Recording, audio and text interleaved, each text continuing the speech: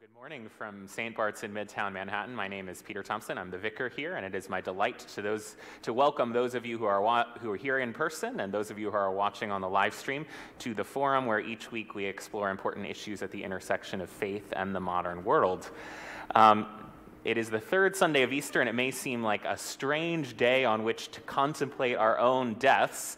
But actually, if you think about it, the season of resurrection is the uh, disciples of Jesus processing the death and then what happens after the death of their Savior. So, in some ways, it's just about as an appropriate time as ever um, to be thinking about what's going to happen when we die and planning ahead for that inevitability. As much as we try to escape it, as much as we try to think we're invincible, it will come. And we're very honored to have with us as our guest for today uh, Amy Cunningham, who is the owner of fitting tribute funeral services. Um, and uh, she is going to help walk us through um, the changing nature of the funeral industry and, uh, and share her experiences as someone who guides folks through making these decisions and then guides families um, through the aftermath of losing a loved one. Um, Amy, it is a real honor to have you here, and Thank we're you, looking forward to hearing what you have to say. I'm very excited to be here. Hello, everyone. Hello, everyone online. Um, as a funeral director, I meet families every day confused about their options. So I hope to bring comfort to you and a lot of information.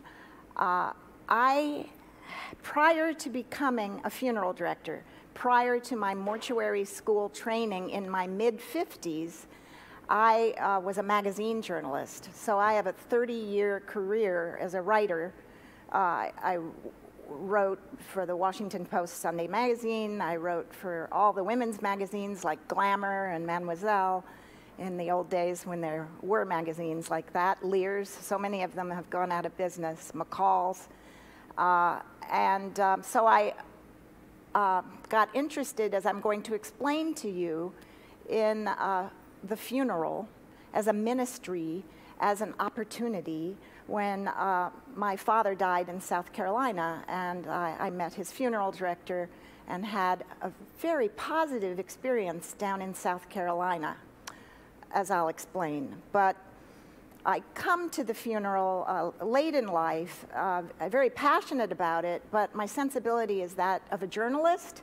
So um, I like to explain things to people and teach the funeral because there's so much confusion, and COVID 19 and the crisis we've just weathered has only confused folks more about what is possible. So, with that, um, we don't like to think about death, but our lives are enriched by its con- con- contemplating it and living in a way uh, where we know the where we're headed and what the have an ending in mind. Stephen Covey, who wrote the Seven Healthy Habits of uh, Successful People, uh, strongly feels that you have to have a notion of, of your ending as well as your beginning. So, um, my father uh, died at the age of 94 in Orangeburg, South Carolina. I was living with my husband and two children in Brooklyn at the time, going back and forth uh, to South Carolina to help supervise his hospice care. He was a Presbyterian. My mother and father, uh, she had died seven years earlier. He wanted a simple cremation and a large memorial event, which is what we gave him. But because he was friends with his funeral director, in towns like Orangeburg, people are socializing with their funeral directors um, through Rotary, Chamber of Commerce. So there's a, a, camaraderie there in smaller towns that you may be familiar with uh, that we've lost a bit in the big city. Um, so I uh, used to think of how helpful it would be to have a button that says, Have you hugged a funeral director today? Because we don't socialize uh, with funeral directors, and if there's one thing I want to leave you with today, it's that um, there's some really interesting people in funeral service, and larger, larger numbers of women are coming into the industry. It's not just gentlemen in black trench coats anymore. There are a lot of very passionate um, uh, people of all sorts uh, in the business. But because my dad knew his funeral director and because he had a basic plan in place prior to his demise, we, as a family, my sister, brother, and I, um, enhanced Dad's uh, service, made it even more musical, more marvelous, and it was a big success. I came back to Brooklyn as a magazine writer in that moment. My kids were in high school. I turned to my husband and I said, My God, I can't believe that Dad is dead. I'm so distressed about it but we really aced that memorial event. I'm so proud of what we did. We had a Dixieland uh, dirge going out the door of the Presbyterian Church, and then they burst into Sweet Georgia Brown in the sunlight of the open door. It was a healing experience between my family and the town. People were saying, "My God, this is your last, the last gift of your father that he has left us." So I said to my husband, I was writing about Buddhism, meditation, yoga, um, spiritual experience. My husband's Jewish. We had a mixed faith family. So I said, I think I would like to help families with funerals. I didn't know anything about it. So six months later, at the age of 55, I was enrolled in mortuary school. Who knew that at 11th Avenue and 56th Street, there's a, a very nice mortuary school that's nationally known and, and uh, very good. And it was a very rigorous year. Then I had a funeral home residency. But it was this gentleman, the idea of this sweet guy down in South Carolina who ushered us through the whole experience that um, saw, allowed me to see that um, knowing a funeral director is a very lovely thing. Um, funeral directors don't have the best reputation historically as you will perhaps recall, in the 60s, Jessica Mitford, uh, her runaway bestseller, The American Way of Death, uh, uh, alerted Americans to the fact that uh, at the time, uh, some funeral directors were, uh, there were no regulations, they were upselling funerals. Um, it's still a, a debated book in the funeral business. Some older funeral directors are still upset about it because they feel like they were misrepresented. Uh, and the funeral industry at the time, this is around 1963, as the book came out, they discovered that Jessica Mitford, as a British uh, young woman growing up in England, she was a card-carrying communist, which uh, was sort of a intellectual thing um, in her circle at the time the American funeral industry attacked the book, saying, This hideous woman is advocating a less expensive, less expensive, more affordable funeral and depriving us of our Christian, Judeo Christian tradition of a proper burial. She criticized in the book the fact that um, casket salesmen uh, were uh, promising uh, luxurious mattresses and, and uh, caskets of metal and bronze that would um, uh, cease uh, the uh, desecration of the body, the corruption of the earth. There was this feeling that you had to protect the body from the soil. And in the years following the book, um, Liberace, she was a, a she consulted on the film The Loved One, based on the Evelyn Waugh book, and they cast Liberace as a sleazy uh, salesperson in the funeral home. So it's out of that moment that um, cremation as an option for more Americans arose. And as Jessica Mitford advocated a more affordable, uh, simpler kind of burial uh, or funeral rite, uh, Pope John Paul approved cremation and said that God is so powerful he can resurrect you from cremated remains. Uh, Reverend Billy Graham said uh, there is no barrier to resurrection. And before long, Ann Landers was writing columns giving uh, cremation etiquette advice because people were so flummoxed by how to manage a cremation. This has led, it took some time for families in the United States to adapt and get educated but this has led to a transformation in the funeral industry. Every conference I go to for funeral directors is still about how to give people a beautiful funeral service uh, using cremation and how to uh, celebrate a life and uh, make cremation uh, something that families can um, practice uh, and feel good about. 2016 was the first year that the rate of cremation in this country surpassed the rate of burial. And that's expected to continue to climb, and cremation is uh, thought to be um, going to be 78% of all funerals by 2040. New York City is a little more conservative than the rest of the country. Our rate of cremation right now is around 55%. Out west, California, Nevada, Colorado, the rate of cremation is already around 80%, 85%. So the consumer advocates following the Jessica Mitford um, message uh, began to talk up the direct cremation. The most frequent phone call a licensed funeral director receives is how much is your direct cremation? That's the first question that many people ask. This has led to a cremation uh, without any ceremony.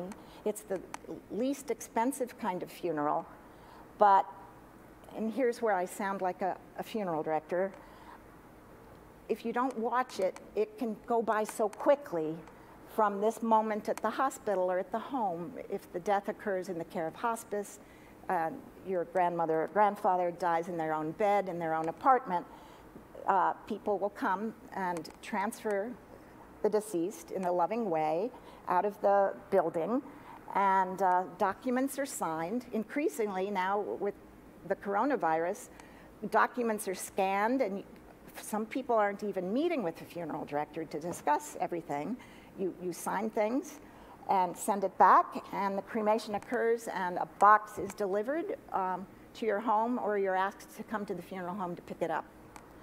Uh, sometimes you choose an urn, and it's a little bit nicer than this, but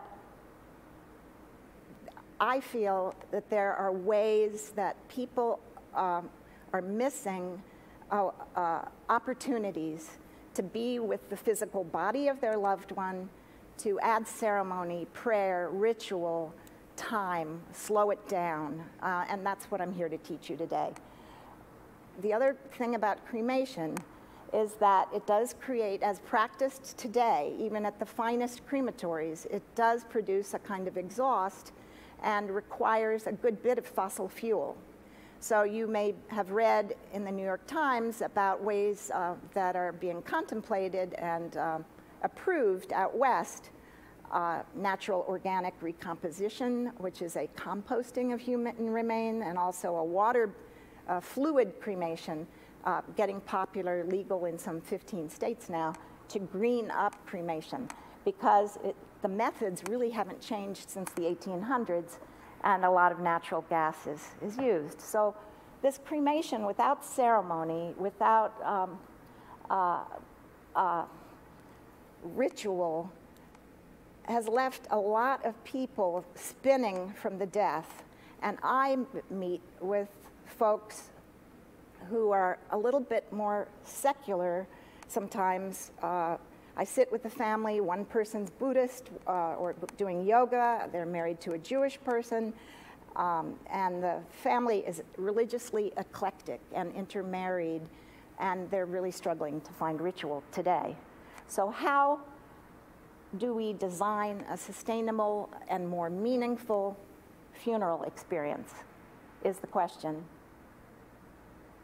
And I don't need to tell you, but the first call and the great blessing you guys all share is your affiliation with this beautiful church, one of the finest places in New York City to get advice.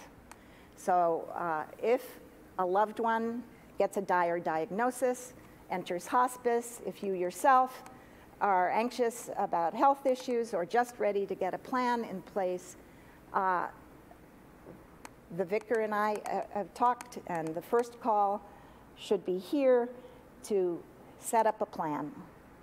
And uh, there are books like The Five Wishes where you, um, do you stock that here, Vicar? They're guidebooks. They're guidebooks that in subsequent emails and conversations I'm going to help you find. Workbooks online uh, on Amazon.com, where you can put everything from your passcodes to the websites you use um, and your um, uh, bequeath lists and your funeral plan all in one place. And they could be kept on file with a funeral director and the church. You also are blessed to have the columbarium, as we discussed. This is Walter Cronkite's funeral, uh, right here at St. Bart's. You also have the most beautiful language in your funeral liturgy that, I, that is known. O God, whose mercies cannot be numbered, accept our prayers on behalf of thy servant and grant him an entrance into the light, the land of light and joy, in the fellowship of thy saints through Jesus Christ, thy Son, our Lord, who liveth and reigneth with thee and the Holy Spirit, one God, now and forever. Amen.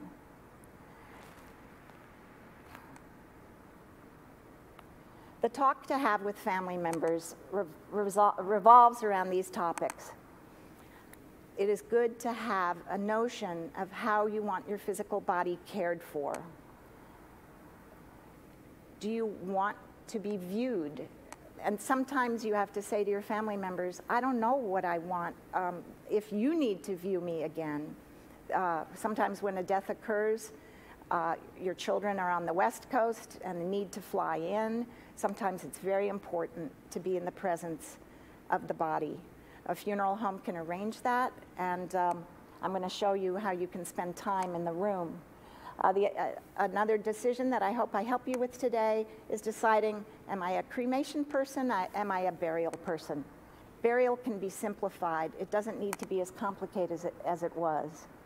Then something to think about is the venue for the gathering. Do you want a direct cremation and a large uh, church-based memorial event? Do you want your urn in church? Do you want uh, a, uh, a celebration of your life in a, in a restaurant or a, a outdoor setting, your final resting place. We were talking about before we got started, scattering versus placing in a niche. Uh, there are a lot of options today. And uh, the management of your estate, obviously, is something you'll arrange with an attorney. I like it. I have a couple of um, friends who have put um, information about every painting, every print, every um, estate sale find, information on the backs of all the pictures so that when family members take them off the wall, they know exactly where everything came from, what you paid for it, and that's a very nice thing to do. My parents gave the three of us, uh, about 10 years before their deaths, um, they gave us legal pads and said, walk around the house and write down what's important to you. And to our astonishment, we all wanted different things. There were really no conflicts. So that was a nice experience and a very lovely way to kind of tune in to their energy, what mattered to us about the home and their belongings. And then the loving care of your legacy is something to really contemplate because increasing numbers of people today want to spend less on the funeral so they have resources to give to um, charities and, and support important philanthropies. You can take your time at the bedside at the time of death. If you're fortunate enough to be, uh, uh, you know, there are many stresses to being a caretaker hospice, uh, a death, uh, prolonged death in the home can sometimes be exhausting. Uh, but when death finally arrives, it's a sacred moment for prayer. You can, um, in, during the coronavirus crisis, we were getting clergy on FaceTime to say prayers at bedsides where when we couldn't meet or gather, uh, the telephone became a very important tool and uh, great part of the funeral. Because that moment at the bedside with the physical body is um, unlike any moment in time, and I, I'm, speaking to you, and I think you've probably had your own experience at one point or another with this, with your own parents. Uh, I remember at my mother's death, just looking at her hand, the three of us took turns and spent 15 minutes each before the funeral directors arrived to make the transfer. We just sat listening to music in the presence of her body in the bed she died in, and I just remember staring at her hand and having an incredible moment studying each freckle, each wrinkle, imagining myself as a little girl holding that hand. So I encourage you, as, as painful it is, as it is, as much as we're tempted to walk away from the body, to take that gorgeous, gorgeous sacred time at the bedside. And hospitals will allow you two or three hours in the room if you ask for it. Believe it or not, I help New Yorkers uh, have funerals in the home. Uh, sometimes when death has occurred in an apartment or uh, a residence, this was a home funeral uh, out on the island where the family just wanted an overnight stay. We brought, uh, actually the son made the casket in the garage out of pine and uh, they just honored her overnight. They felt like they wanted to have candles and a ritual in the house. Uh, that's something that's legal and uh, the body can be uh, kept in good condition with ice or just keeping the air conditioning on and keeping the room cool. Shrouding goes back a long way. Jesus Christ was shrouded in fabric. The ancient Egyptians used uh, wrappings and uh, believed that it was important to honor the body and wrap it. Just as we swaddle our infants, we can swaddle our dead even if it's a hospital death, you could um, gently uh, wrap your loved one in the sheet that they died in, if it's clean, or you can bring in gorgeous fabric. And a lot of people don't know that this is a possibility. So um, you can purchase shrouds online. There's a woman in Southern California. Um, the name of the website is King Kinkaraco, K I N K A R A C O she sells burial couture, these gorgeous, like sleeping bag garments that you can buy in advance and have in a trunk for yourself, for a loved one. And um, they're about $625, but really a splendid way to wrap the body so that when the funeral director does arrive for the transfer, you can say, We bathed her face, we combed her hair, she's ready for you. So um, more and more baby boom families want to have experiences that, that are hands on, um, uh, back to the 1800s, um, interaction with the dead. COVID has confused people, but as we get out of this hideous period, I hope to be able to go back to going into homes and helping families in those last hours before the transfer team takes the deceased person away. Uh, I use a lot of um, uh, rose petals, blossoms, even in hospitals. We take the uh, flowers off the windowsill. Inevitably, there are flowers in the room. Take those off the sill, put them in the deceased's hands. If you have the opportunity to do that kind of thing, do take advantage of it. Um, and you can sort of present these beautiful gifts to your loved one. Biodegradable caskets are very fashionable right now. They're um, less expensive than the $6,000 caskets that were sold to us in other times. Uh, this willow basket has been pictured in the New Yorker, the New York Times. Uh, it's a biodegradable vessel. Uh, there's a woman in Vermont uh, weaving them by hand, and um, they go back to Victorian times when they were like a temporary house casket to keep the deceased in until a proper casket was made. But biodegradable caskets are, are perfectly dignified, and I'll show you some momentarily. Uh, this is the funeral of Jackie Onassis's famous sister, Lee Radziwill, going out of St. Thomas More in Manhattan in a wicker basket, which sells for about $2,300 with probably uh, maybe $4,000 of flowers on top, I don't know. Um, but light, nimble, carrying into church this new kind of vessel. uh, is exciting to me. And this was a great moment in New York funeral service to see that casket coming out of the door of a church. Uh, there are bamboo caskets for cremation and burial, uh, beautiful with flowers, and um, biodegradable, earth friendly pine. The Jewish pine Orthodox casket is biodegradable, earth friendly, $975, uh, perfectly dignified, gorgeous with flowers. In a church, uh, you're going to have the pall, beautiful fabric over it anyway. Um, I invite you to contemplate different kinds of caskets and bring yourself to them. You can decorate caskets. You can bring um, caskets back to church again. Cremation has kind of taught us that um, to skip this part. It's fine to do so, but um, we talked a little bit about how nice it is to have the casket back in church. You can ask your funeral director about a rental casket. They're heavy wood, hardwood shells that look like $6,000 caskets, but inside is a cremation liner. And that, behind closed doors at the crematory, that cardboard box will slip out. And um, that's the part that's cremated. The hard shell of the big casket goes back to the funeral home to be properly cleaned and reused. So that's uh, an economical uh, option if you want that impressive looking old fashioned casket with brass handles whether you've had a moment at the hospital, at the place of death, a church service mass prior, you can still uh, go to the crematory. Uh, much of my work is at Greenwood Cemetery in Brooklyn. They have two gorgeous chapels there, fabulously designed, beautifully decorated.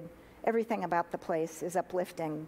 Uh, people from Manhattan come to Greenwood and say, Gosh, if we'd known this was so gorgeous, we would have had everything here. Or, you know, they're, they're, they're just filled with appreciation for the way it works there. And you can have committal prayers here prior to cremation. In the, uh, we don't really have open casket viewings here, and this is a family that just wanted a simple cardboard box, but we made it beautiful uh, uh, and played music, and they decorated the box with family photographs photocopies of the photographs and made it their own.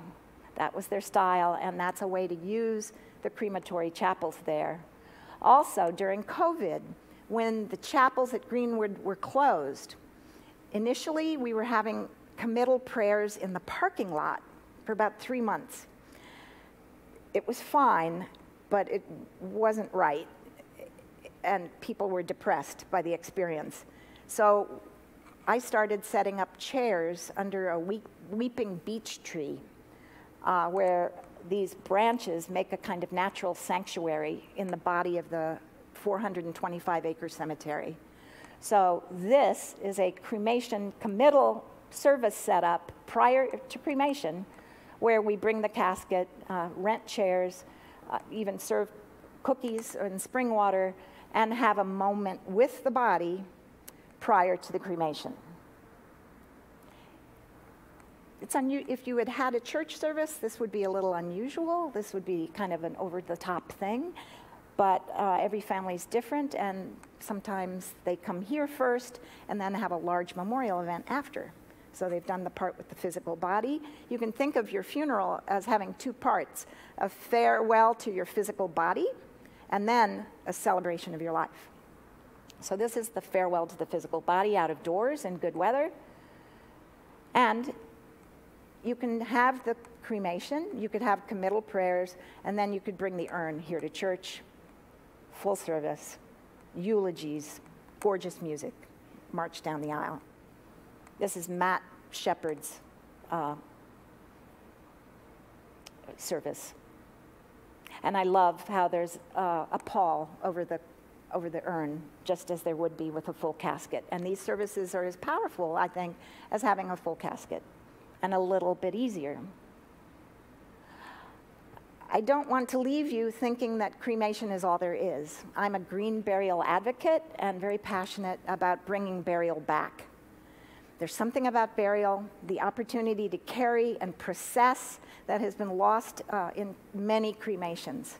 So if you have any allegiance or property upstate or any affiliation with New Paltz, Rhinebeck, Sleepy Hollow, there are earth friendly cemeteries out there where grave space is, um, is much less expensive than it is here in the city. Um, we still have grave space in the five boroughs. Do not despair. You have to know where to look. Uh, you can have a full burial in the five boroughs, in your family cemetery, where everyone else is. If you're blessed to have inherited grave space, that's fantastic. You can have green burials in, with a pine box in almost any cemetery there is. But upstate, uh, you can have a service without a casket with the deceased person. This is a little far out for some people, okay? It's, there's no casket here at all. We've shrouded the deceased person, carefully refrigerated them, kept them very cool, but then um, we honor them uh, by carrying them on these caissons. This uh, cemetery is the one at uh, Rhinebeck. And they have an old fashioned caisson where you can put the casket or the deceased uh, person's body on a burial board, surrounded by flowers, wrapped in fabric.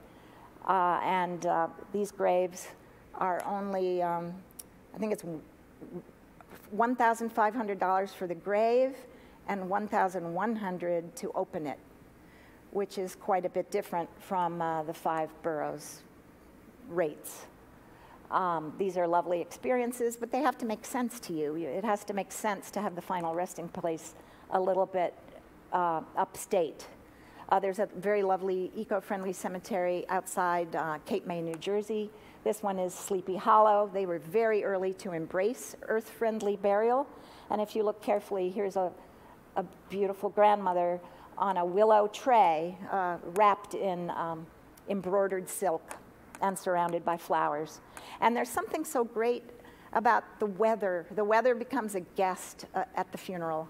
And um, in all seasons, these, the, the fact that people are standing at a grave, resilient, you know, with uh, energy to say farewell, um, it's just a lovely gesture. And these are gorgeous ceremonies. And during the coronavirus period, where all indoor spaces were closed, we were having fantastic experiences in our masks, socially distanced as best as possible uh, at these, at these uh, cemeteries, allowing this kind of earth-friendly burial. That's a willow casket on the caisson. That's the full willow. Uh, and this is a, a shrouded burial where you don't even see the shrouded gentleman because he's so covered in beautiful seasonal flowers that the family brought in their own arms. You have to get your head around this a little bit, but some of these cemeteries are trying to preserve rural property and habitat by putting deceased people under it. Once you have a, a rural cemetery like that, it'll never be a shopping mall or an apartment complex. Um, so these green spaces uh, are great. And uh, something about the bird song and any kind of burial in the out of doors, even if it's of an urn, and they have urn spaces at these places too, is very magical. Interesting to note that uh, ashes to ashes, dust to dust is not in the Bible. Um, it's in the Book of Common Prayer. This is the, the, the quote from Genesis is, By the sweat of your face you shall eat bread till you return to the ground for out of it you were taken, for you are dust, and to dust you shall return. This is a wool casket, felted wool, biodegradable. It's British, uh, comes in brown and white. It's a nice thing. This is at Woodlawn in the Bronx. And these flowers, by the way, this was a coronavirus burial. No family in attendance. I set up a tripod and filmed the burial, uh, streamed it from the grave. Uh, and this was in uh, April. I'm losing my mic. This was in April of 2020, and all of the flower stores were closed. So I put out a notice in my Brooklyn neighborhood um, Hi, guys. You know, I'm a funeral director. I have a funeral on Thursday. It was the peak of lilac season, so all my neighbors cut lilacs from their yard and brought them to my stoop, and we put them on top of the casket at the grave for the family. Family music, if uh, one of the questions I sometimes ask family members is Does anyone in the family sing? Does anyone play the violin? Incorporating family music, um, live music is a very beautiful thing at any kind of service. Um, and um, uh, it's not a performance, it's always an offering. So, the, the lessons, um, winding up here a little bit because I want to have time for your questions. The lessons of the coronavirus period for me uh, were that the funeral is no longer one event, it's a sequence of experiences we were even um, delivering urns to people's apartments and uh, appearing at the front door. And I tried very hard to make that a, a, spiritual moment with prayers, with language at the kitchen table as I brought the urn into the house, you know, um, the moment at the bed. If you go onto my website, you'll see we've divided the end of life period into nine different moments for different language. And of course, the Episcopal prayers are uh, lined up the same way. Prayers prior to death, at death, everything is all outlined for you in the most gorgeous way. So we were really um, moved by how the funeral is more than one event. And to think of even the anniversary of the death as an event. Um, and to, in your own end of life wishes, help your family uh, align with that idea and see how you could sequence things, have something in the summer when everyone can get together. Uh, cremation allows that kind of flexibility, but um, to think of death that way. Um, and um, more and more families want to be involved. They're saying to funeral directors, we want to have a role sometimes the daughter of a deceased woman will say to me, Could I come in a little early and just check mom's makeup? Or could I be involved uh, in the arrangement uh, in some way? Or, or can we do the flowers ourselves? Baby boom families really want to have a role. And that old fashioned idea of bringing everything to a funeral firm and having um, them take care of it all for you has deprived us of a kind of um, active grieving. Uh, we do grieve better. Uh, therapists say, you know, the more involvement, the more you can walk out of the funeral saying, damn, you know, we did a good job with that. You know, I felt like I, I stood up the whole way. There are even um, at the crematory, you can, this is uh, a pretty intense experience, but at Greenwood, the crematory retorts are designed in such a way that they're so, it's an impressive space, and you can actually witness the casket's entry into the retort.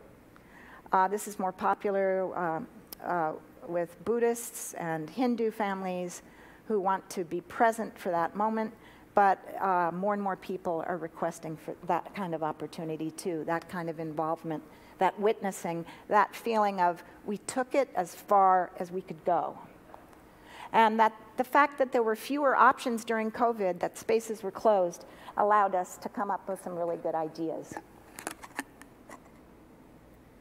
The decision to bury or cremate relies on one's religious beliefs, family traditions, perception of self, and size of the pocketbook. So, sitting down with a funeral director and exploring, you know, every time you walk down the street, notice how a lot of funeral firms have four different directors hanging their license at the door. Go in ahead of time before you need them and ask for the price list. Befriend death by befriending funeral homes in the New York City area. I think you'll meet a lot of nice people and be surprised. Was my sound okay? It is, but if you want to use the handheld mic, feel free. Okay. Um, I have a lot of advice, a lot of the things spoken uh, about today are on my blog, The Inspired Funeral. Uh, and this is me in Brooklyn. Um, that's my email. Well, I'll take your questions now, and um, what a gift to be here and be speaking to you. It's really wonderful to have you Yeah. here, Amy. Thank you for walking us That's- through all of that so quickly. Kind of a crash course. That was, that was a jogger's tour, okay? Um, each one of these, I have presentations on the history of cremation, uh, how to write a condolence letter, you know, green burial alone, and how to improve cremation. But I condensed everything today for you. So I know that's a lot. But thank you. and we appreciate it. We, we only have a few minutes for questions, so I encourage you, you can use the live chat function on YouTube, the comments function on Facebook. You can email me, pthompson at stbarts.org. That's P-T-H-O-M-P-S-O-N at stbarts.org. And then if you're here in person, there's some comments car- cards on the, the table. And if you can just put it on the central table, I'll make sure to, to have your uh, questions answered.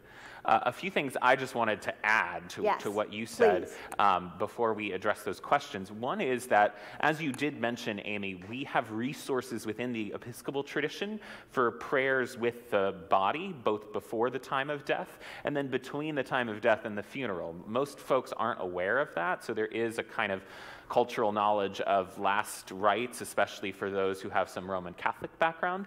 Um, but we have a liturgy that's called ministration at the time of death, and that can be said right before death or right at, at death. And you should feel free with you and your loved ones to, um, uh, to ask us to be there. There are also prayers for a vigil with the body. So that is an option within our tradition. There are Episcopal liturgies for that, so we can be there to do that. Um, we have a, uh, uh, a funeral planning form that is we have a meeting about it on tuesday. It's just about to be finalized and will be on the website by june so that you will be able to go online and fill out your funeral planning form so that we have it on files. good. we'll also we'll also get some of the pamphlets that amy's mentioned so, so you have some additional resources to look at. Um, i can tell you that it's always easier to plan the funeral if you've given us some instructions in advance because there are always questions for the family. What music what readings who do you want to speak etc the more you can tell us before that moment happens the more you can talk with your loved one about what they want the more helpful it is yes. to us Name your hymns, right? absolutely Name the color of your flowers. Uh, some people want videos when they're alive and well, messages to the family. Some folks write letters to their loved ones in advance, sealed for the time of their wedding, you know, in the future for them to open these envelopes.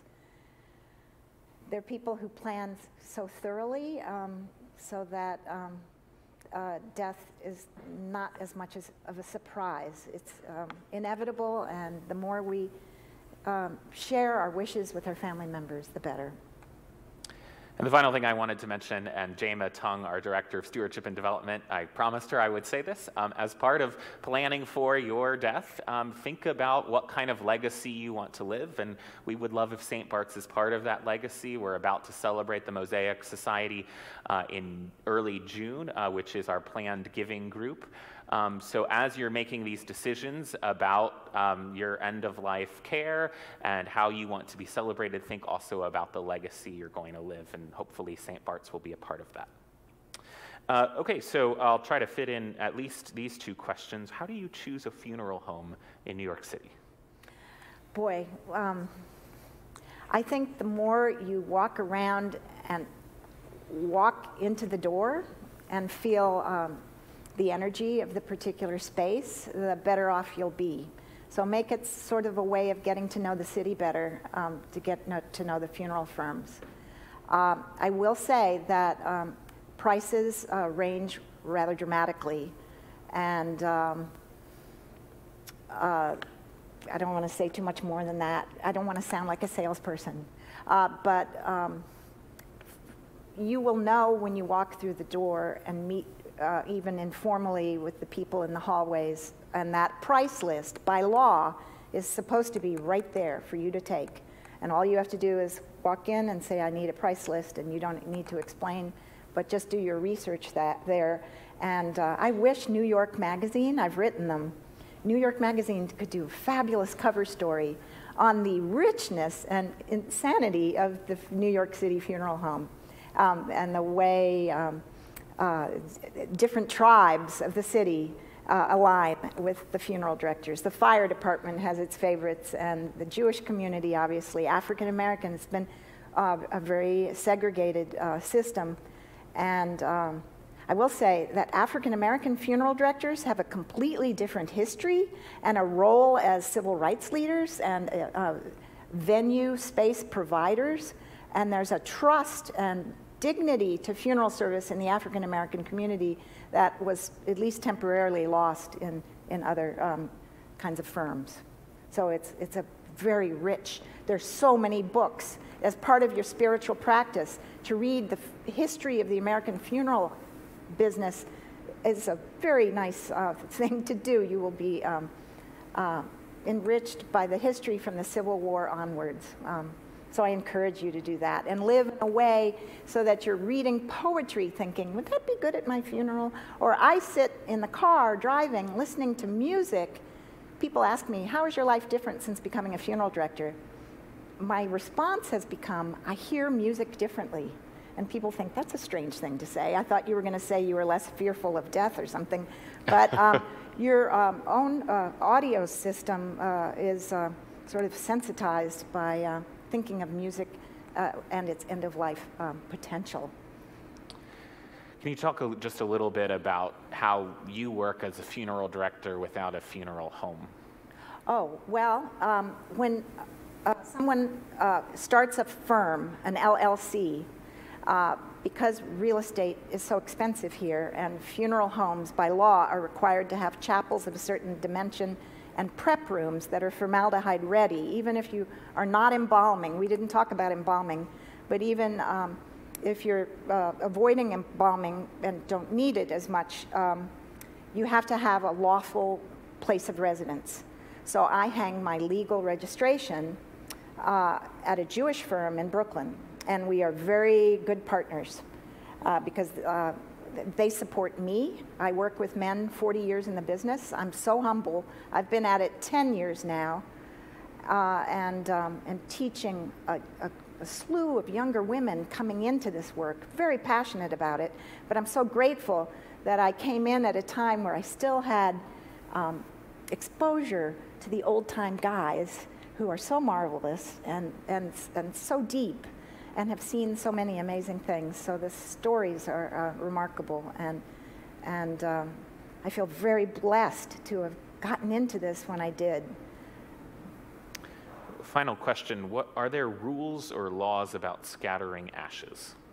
There are um, recommendations, and um, you, there was a gentleman we discussed before we started who uh, was found sprinkling cremated remain in the orchestra pit of the Metropolitan Opera. it was in the New York Times about seven years ago. This poor gentleman was arrested, taken into the station, and cried, saying, I was just doing what my friend told me he wanted.